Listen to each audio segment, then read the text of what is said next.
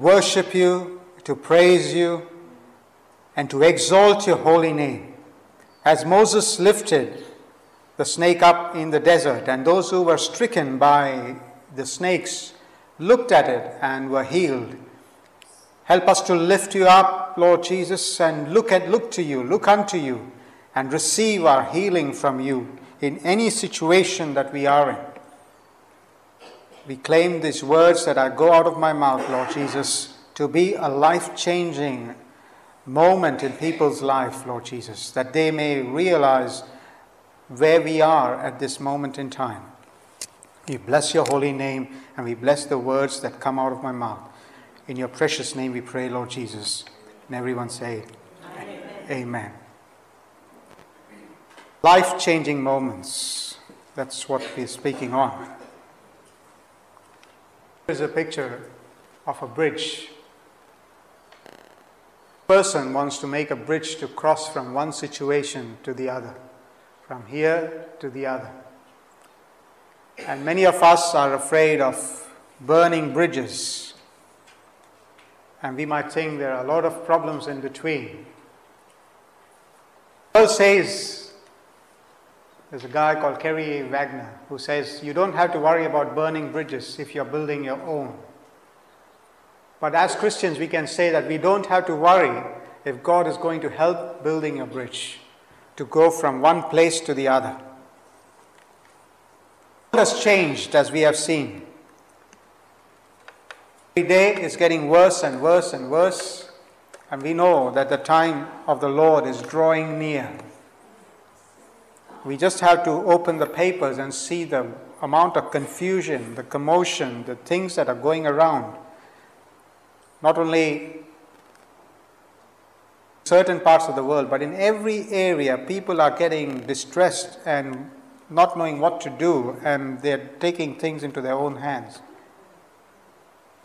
Man was walking in the street one day when he was brutally beaten and robbed. We know this similar story in the Good Samaritan.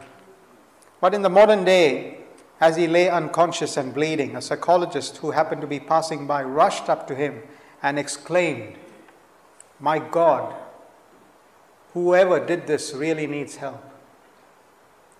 Instead of looking to the person who was injured, we have changed our attitudes into looking the other way and saying that someone who is doing these things need help.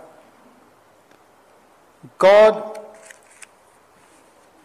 wants us to live an overcoming life, a life which is able to be a one filled with abundance, abundant life.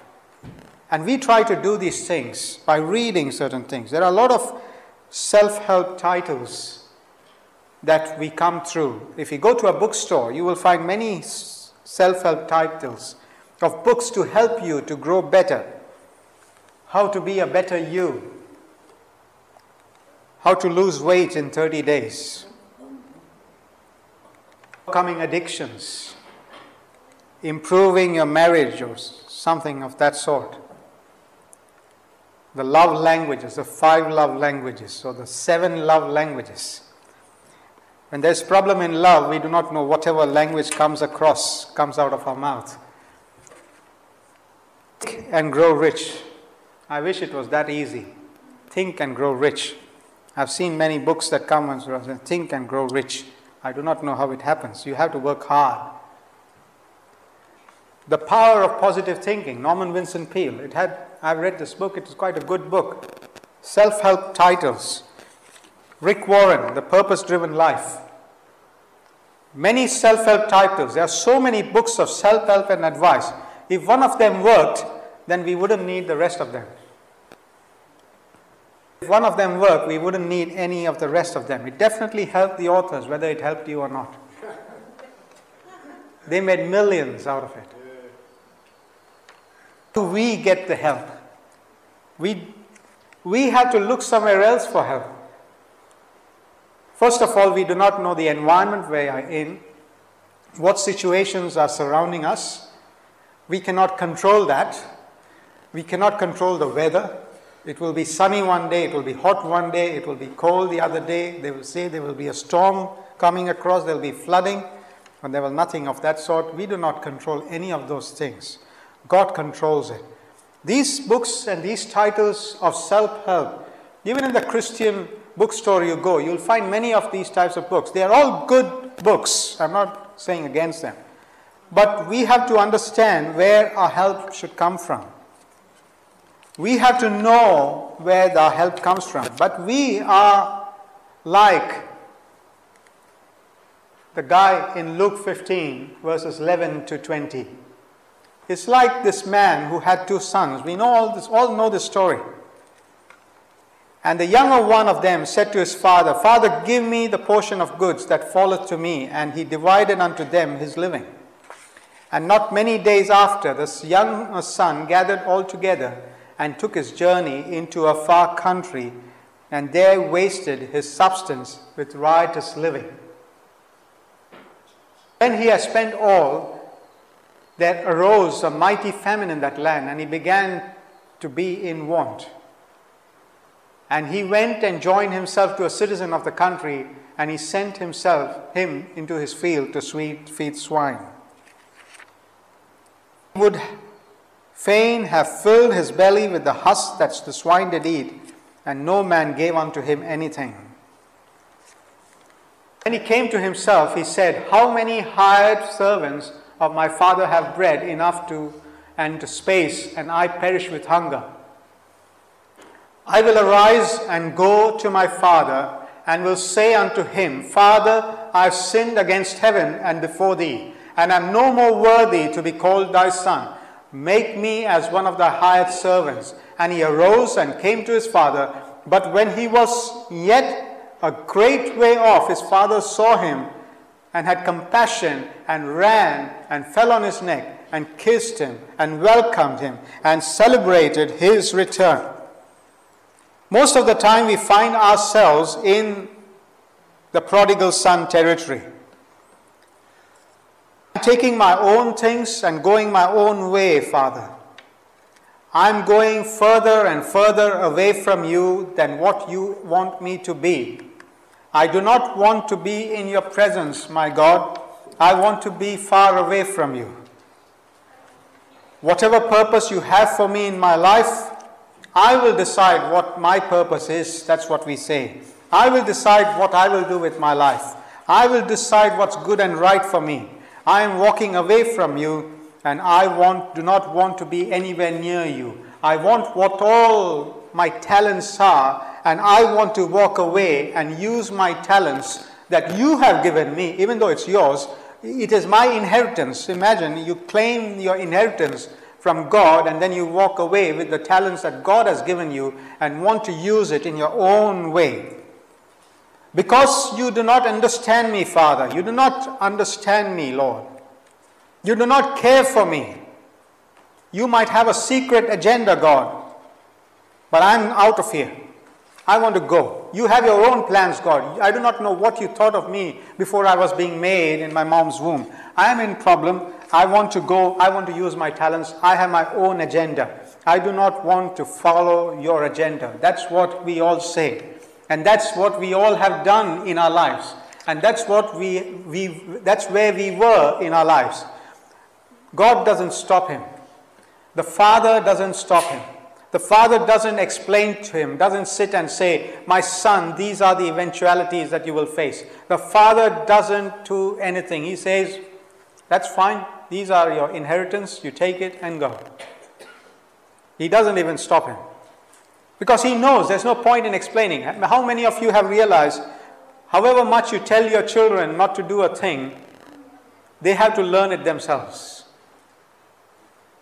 Till then, it won't enter their mind. There is a blockage there. Take drugs, don't take drugs. You can see what's happening, but they will take it, experiment. I'm stronger. I know what I'm doing.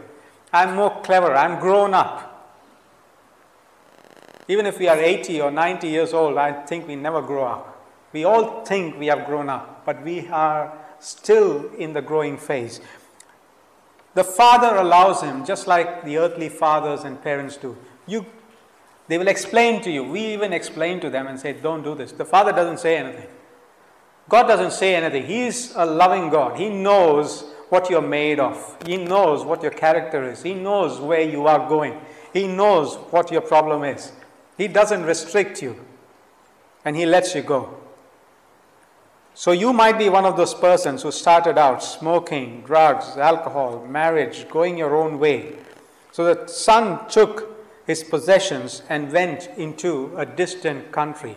A distant country in the Jewish culture means a Gentile land, a land which is filled with unbelief, a land where there is no trust in God, a land where there is no relationship with God, a land where there is no connection with God. The son walks here away with his entire faith and his heavenly from his entire faith and from his heavenly father. And he goes into a distant country.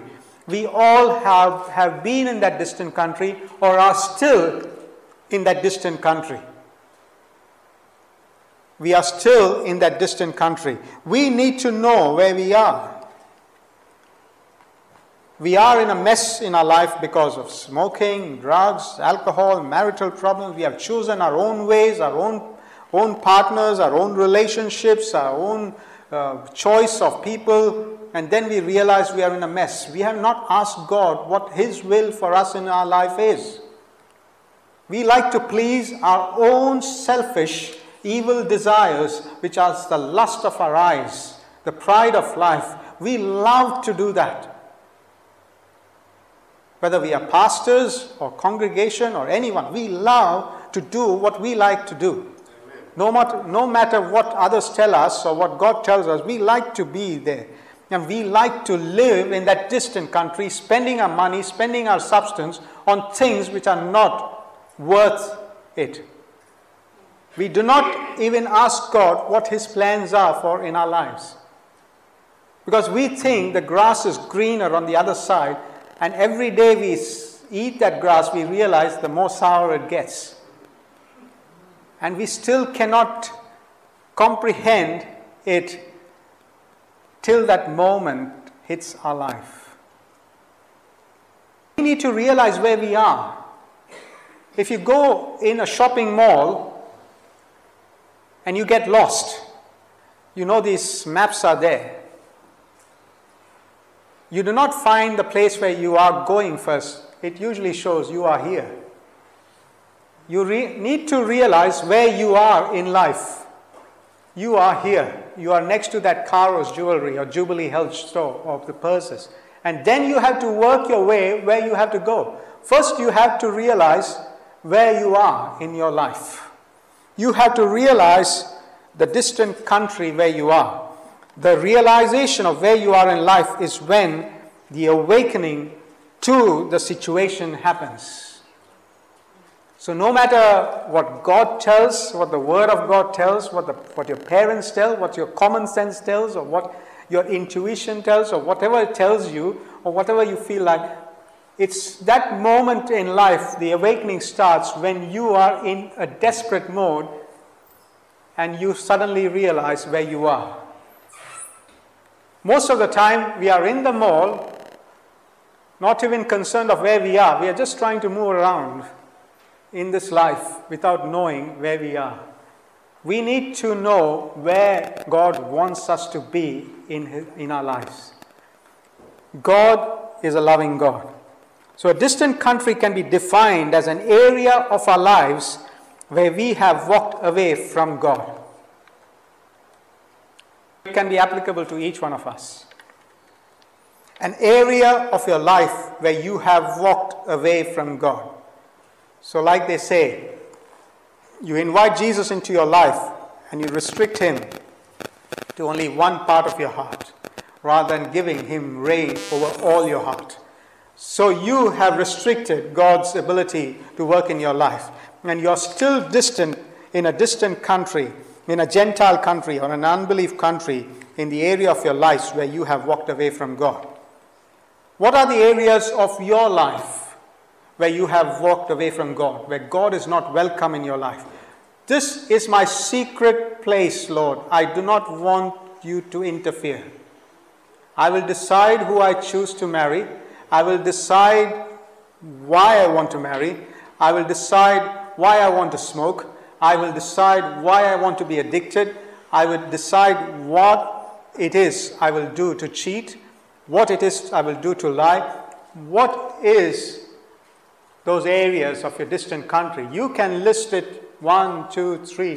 Which are the areas in your life? You can write it down now also and write down. These are the distant areas where I do not want God to be part of my life. That's the areas that you need to realize where you are. So you need to know where you are at this moment in life. Drives us to this distant country? Many of us are driven to this country because we are running away from a God that doesn't exist. From our perception of God that doesn't exist. For us, we are running away from this God whose perception doesn't match up with reality. We are rejecting a God whom we created than a true God who created us. So we have this perception of God, an ever loving God, a beautiful God, and if it doesn't work our way, we say, No, that's not the Lord I worship. I go away and away. So this man, in his youth, realized he is all knowledgeable and he said, I'm running away from you, Lord, because you are an unreasonable father. You are an unreasonable father. Not reason with you. You are making us miss out on things. You have this long list of rules. Do not do this, do not do that, do not do this. You are taking the fun out of my life. I want to party, I want to smoke, I want to take drugs, I want to uh, have uh, relationships, I want to have fun with the opposite sex or whatever you want, you want to fill that. You are an unreasonable father. You want to take the fun out of my life. And we say, look at those unbelievers, how much fun they are having, and we are sitting here listening to the word of God, and we still have these problems. You are an unreasonable father, Lord. God sometimes is described as the great cosmic killjoy. You kill the joy for everything. That's what you think of God. You have not realized who the God it is that you worship. That's why you describe him as someone who is impersonal to you. You're an unreasonable father. Sometimes we think of him as an unpleasable father. We cannot please you, Lord. There's no way we can please you. Your standards are so high. All have fallen short, sinned, and fallen short of the glory of God. Everything what we do is against you. And we think you're unpleasable. Your standards are so high, we cannot please you. If we score an A grade, Uh, a B grade, then we, the father will say, Why didn't you score an A? If he scored 20, then we say, Why didn't you score a 30? At some point, we will try quitting to please him altogether. So we start moving away from God because we have this God in our mind who is unreasonable, unpleasable. And then we come and we say, You're unmerciful because you find pleasure in distributing punishment. You're punishing all these things. People say, He's unmerciful. He doesn't even, uh, he's, he's distributing this punishment, waiting to catch our wrongdoings. If you are taught to fear God, you will respond naturally by running away. You run away and don't give a chance because he's a fearful father, he's an unmerciful father, he's an unrelenting father, he is really someone whom you have to be afraid of. Some see him as an uncaring father. You do not care. That's what people say. The God doesn't care. That's why things are happening around this world. I don't care about him. But most of these people who are going through these problems have not cared for him in the first place either. And suddenly, when things go wrong, they say that you are an uncaring father, and the more they walk away. They have not been with him in the first place, and they land in this problem, and they start moving away from him. Whatever the reason caused you to leave the Father and head out, you will inevitably find yourself in a place where you are in desperate need for help. The kind of help that self help books, self help things, and you yourself cannot give you. So you are in a position, in a distant place in your life from God. Whether you are addicted, involved in drugs, alcohol, smoking, etc., etc., you have come to a point where there is no place to turn around. There's nothing that you can do to help yourself. that's when your journey begins. That's when that light clicks in your mind and says, I am in a place where I cannot do anything. That's when you go to that map area and say, You are here. Till then, you are roaming in the mall, finding the place where you have to go, and you have not reached that destination. And suddenly you come to that map, and then you realize, This is where I am now. This is my position. I am distant away from my Lord.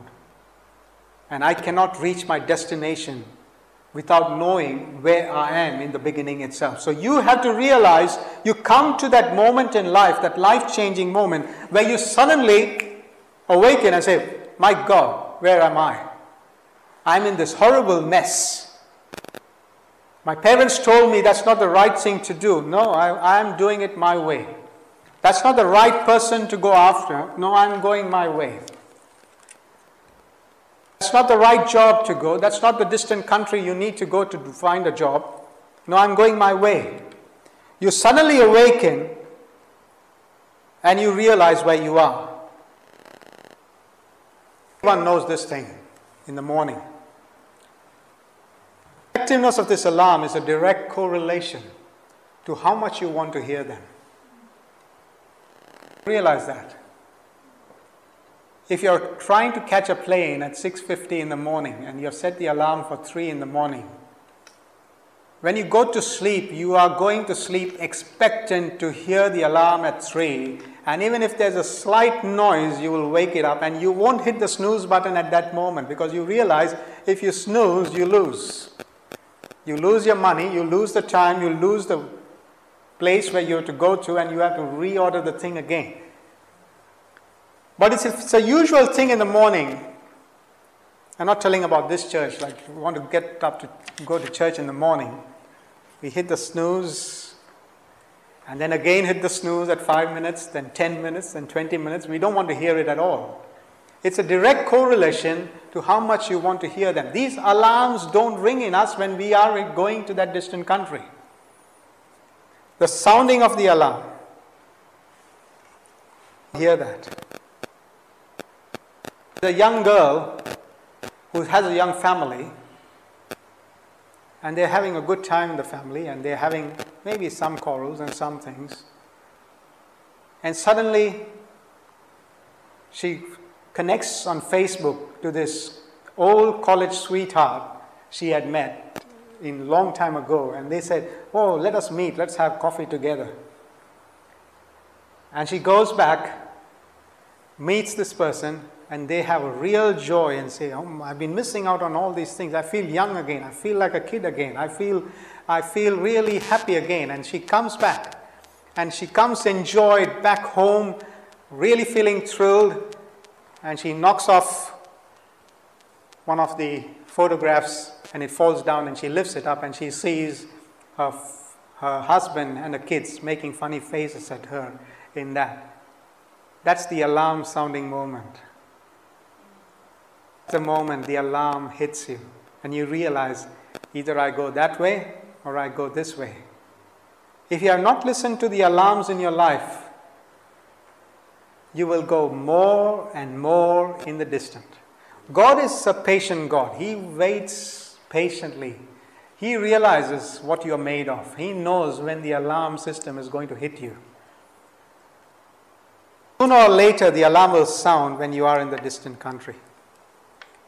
Now, this fellow, he got up, he walked away from his father's home, he went and had a riotous time. It maybe have been four years, five years, he had a party. Money started dwindling, he didn't invest anywhere. The money started dwindling. He started knowing that the money is going. The alarm sounded then, but he didn't want to hear it. He snoozed the alarm and said, No, I will still proceed. So, when you go into things in life like uh, a drug, alcohol, or adultery, say, I'll just taste this little bit. I'll just hold hands and walk along that way. I'll just comfort this person and say, I want to be there for you. And you just walk that distance, and suddenly that small alarm in your heart says, My son, my daughter, that's not the right place to go. snooze. No, nothing's going to happen. I just have a bit of a snooze and just see what the world enjoys. And I start moving further. These two are believer sons, children of the Most High God. One stays back and one stays goes away. Both have their own agenda. So we are all in that group. We all take that snooze button and go away from God. So realize when that alarm said. So this guy, money started dwindling, the alarm started going, he didn't realize it. And he went a bit further. His friends started dwindling. And he started spending all, and there arose a famine in that land. And he began to be in want. Even here, he didn't realize where he is. The alarm hit him there. The famine came on. There's another alarm that sets in. The news about your adultery will be known by one friend. The alarm hits you and says, Oh, will tell your friend, Don't know. I'm just trying to get out of this. Uh, just hold on. Nothing's going to happen. And just drinking this one glass more, the friend knows, Oh, you are having an alcohol problem. The friend comes and tells you, but you do not obey it, and you say, No, I'll just taste a little more, and off you go. So he went into the land of famine. And he still didn't realize, and he still had the snooze button. The more you hit the snooze, the more you go into the loser's territory. You have to awaken at that moment in time. And then he went and joined himself to an unbeliever, saying, Oh, instead of going to someone who believes in God, he went to a person of that distant country and goes to this neighborly friends who look friendly and says, Can you help me? No one is out there to help you.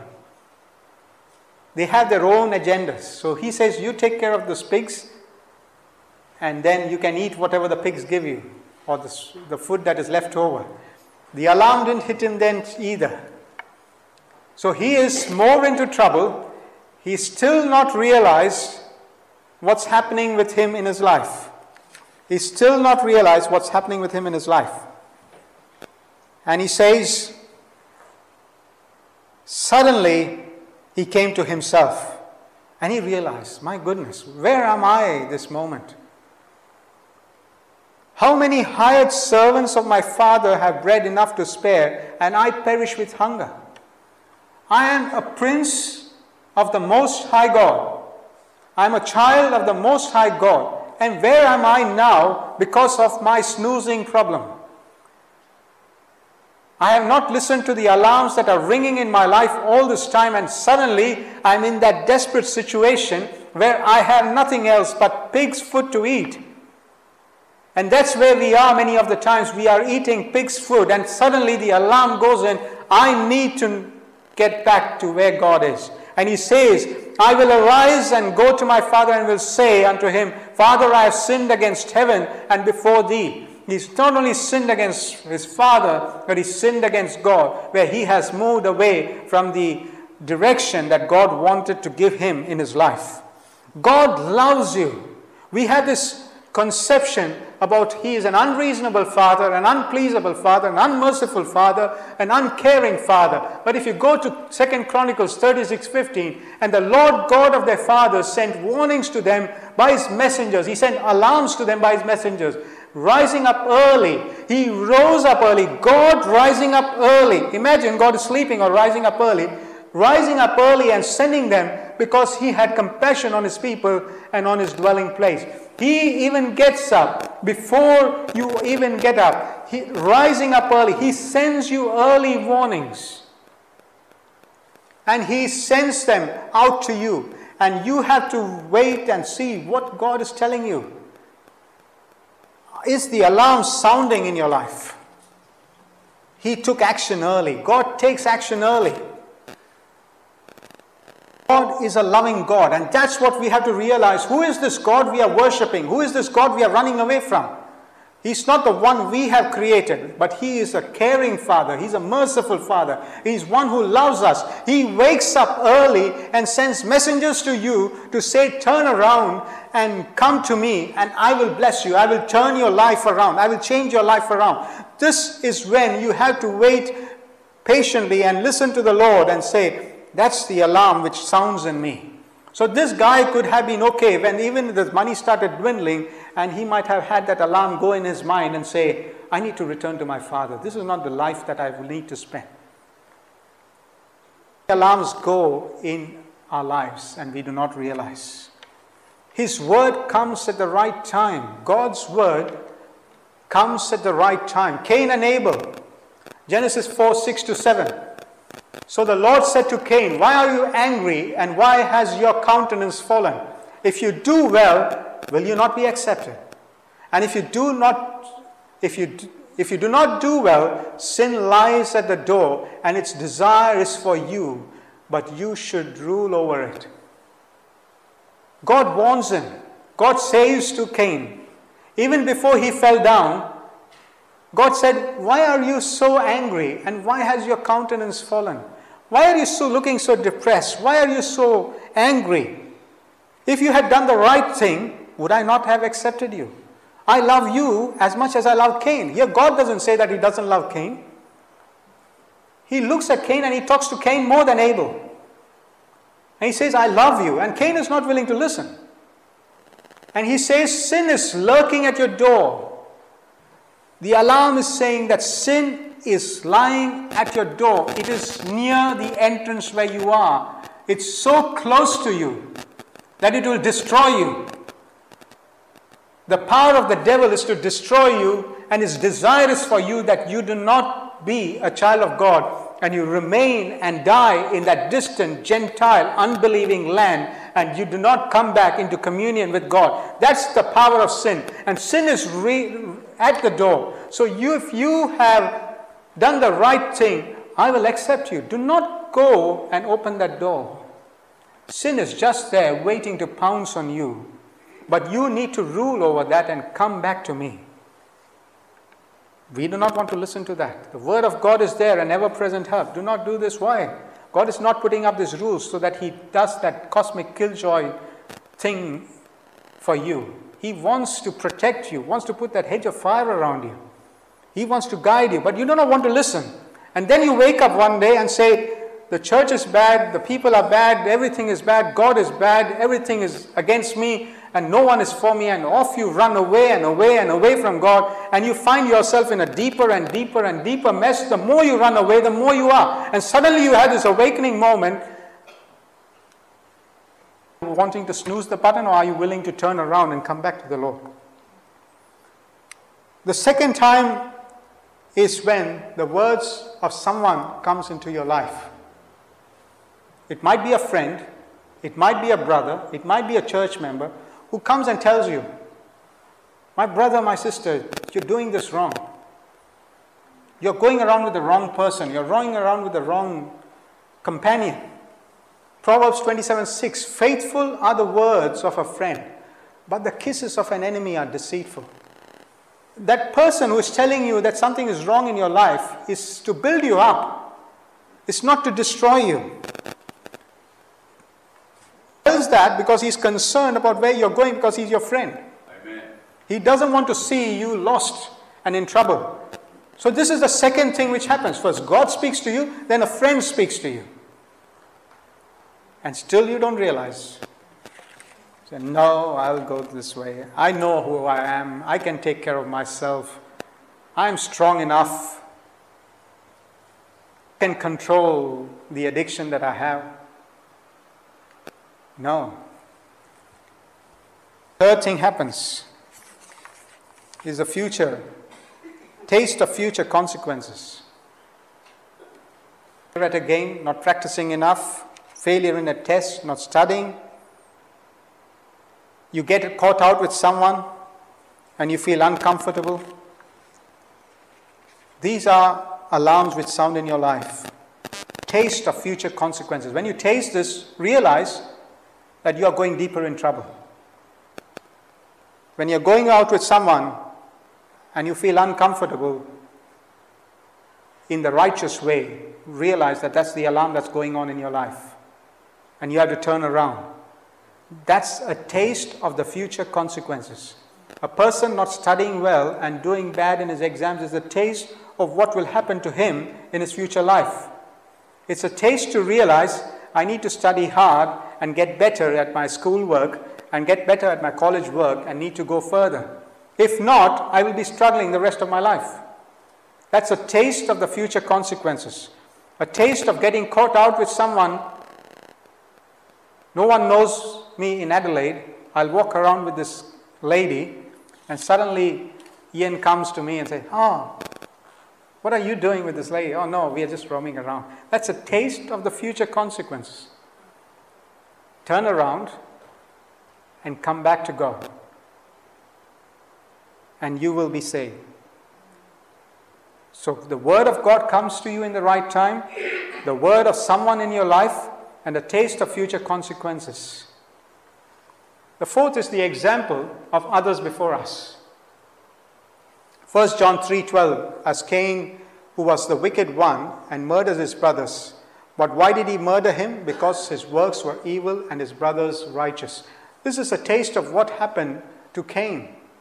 He murdered him and he became the evil one because his works were evil.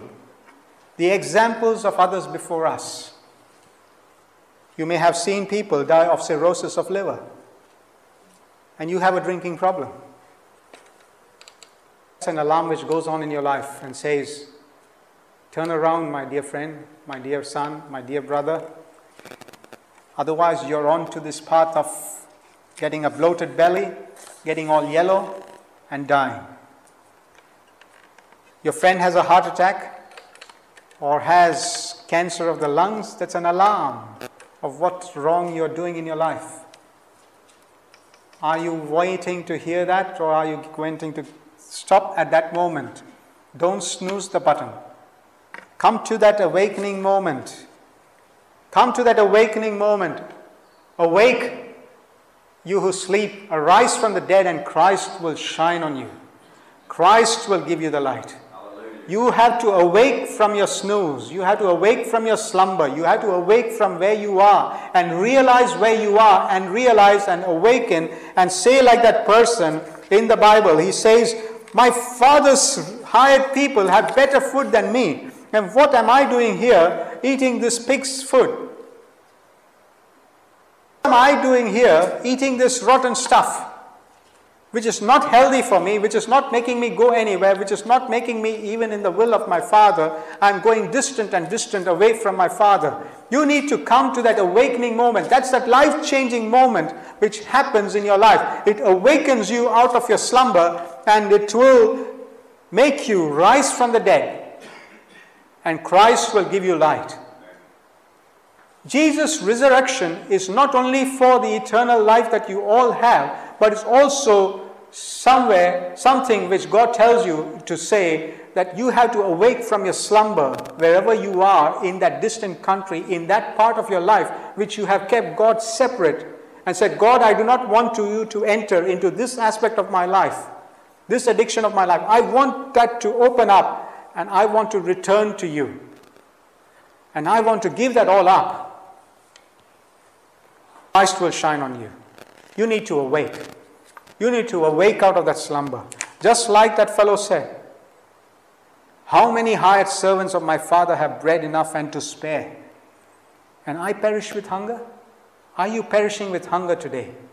Are you perishing with sadness today? Are you perishing with sickness today? Are you perishing because of that sin that is empowering you, that is controlling you, that is leading you, and that is leading you away from God? Awaken, rise, and Christ will shine, off, shine on you. Turn around, repent, believe, and be baptized, and come into the abundance of Christ. Stop going the worldly way. Stop going into the Gentile way. Stop even playing around with the Gentile fun that they have. Will give you the abundance of joy. Don't think that these people who are sitting around and smoking and drinking and alcohol and uh, having fun and uh, uh, having adultery and parties and everything are having fun. No. The joy of the Lord is much higher than what you think the worldly people are having It's great to be in the presence of the joy of the Lord. It's great to have the joy of the Lord in your life. You have to taste and see that the Lord is good. Once you taste and see, you wouldn't be tasting the pig's foot that is there in front of you. You have to realize that the taste of the Lord is much better than the food that we think is tastier in the world. We have to awaken and Christ will shine on you. That's my message today. At that life changing moment, that's the first part of my message is to awaken, turn around, and come back to the Lord. Say, Lord, I cannot help myself. The doctors cannot help myself. The, nothing can help myself. Lord, humble yourself and say to the Lord, I cannot do anything. I am just returning back to you. You take care. The Father sees you at a distance comes running to you because you are drawing nearer to Him. Draw nearer to Him and He will draw nearer to you. Till you draw nearer to Him, the Father is still looking out for you. And the more you come drawing nearer to Him, He will draw nearer to you. He will come nearer to you, fill you with His power, cover you with His robe, put kisses on you, and lift you up, and bring you into His house, and have a good party to help you Come and build yourself, edify yourself, strengthen yourself, and grow in the Lord, and say that the taste of the Lord is good. The abund- there is abundance of joy in the Lord's house. I want to return to this abundance of joy which is there in the Lord's house. Do not think that the taste of the world is good. It is not good because only the taste of the Lord is good. Only the joy of the Lord can be your strength. There's nothing else which can strengthen you. There's not even cars, money, anything that can give you pleasure. Kids, family, these can never give you pleasure. It's only the joy of the Lord who is an ever present help in the time of trouble that will give you the joys that are, you are looking for, that will fill the thirst. Jesus says to that woman in the Samaritan well, The water that I give you will quench your thirst. If you're looking for waters in this world, that will not quench your thirst. But you're looking to the righteous spiritual water that comes out from the word and the mouth of God, the words that proceed out of the mouth of God every day, every moment, every time in your life, you will be having abundance of life and eternal life and ever present and ever loving and an ever encouraging life that will be there in your life. You need to change, you need to awaken and come back to the Lord. Stop hanky panking around and saying that I love the Lord with all my heart, but turn around and say, Lord, I am weak, but you are strong. You are the one who can turn this bread, stones into bread in my life. I do not want to do it myself. Jesus didn't do it himself. He said, Man shall not live by bread alone, but by every word that proceedeth out of the mouth of God. The words of God will proceed out of his mouth every day. You have to humble yourself, sit at his feet every day, and listen to him. Have that awakening moment in your life and turn around, and God will supply all your needs according to the riches of his glory. Amen. Let's all stand up and thank God for the message that He's given us today.